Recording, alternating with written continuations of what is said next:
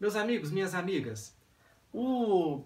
todos sabem que eu amo camisas retrô, né? É um dos focos da minha coleção. Inclusive estou pensando até agora em parar com seleção brasileira, acho que eu já falei isso aqui, é uma ideia que está bem sedimentada na minha cabeça.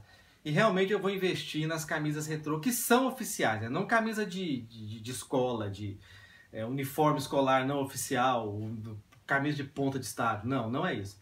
Quero investir nessas coisas aqui. Olha que lindeza essa camisa feita em 2010 pelo Olímpicos. Uma das melhores coisas da pequena passagem da Olímpicos pelo Flamengo. Essa camisa 1987 em homenagem ao grande goleiro José Carlos, né? Nessa época, em 87, a camisa era feita pela Adidas, mas era isso aqui, né? Vejam referências aí, José Carlos, goleiro Flamengo, 1987, um timaço que vocês vão ver essa camisa. Aqui tinha a marquinha da Adidas e uma camisa bastante abusada, né, já para os anos 80, que quando não tinha muito invencionice, né? Tanto é que a invencionice que teve essas listras aqui, né, uh, que, não, que não eram comuns, e não são até hoje, mas na época nem existia, não eram comuns no Fla, né? Essas listras aqui, elas são na cor do clube, a camisa é toda, porque é Adidas, né? Toda feita sem invencionista, toda feita na cor do clube, preto, vermelho, e não, nem precisou usar o branco, né? E camisa de manga longa é uma é realmente uma maravilha. Essa gola que a Adidas tinha e que a Olímpicos é, fez muito bem. Aqui o número.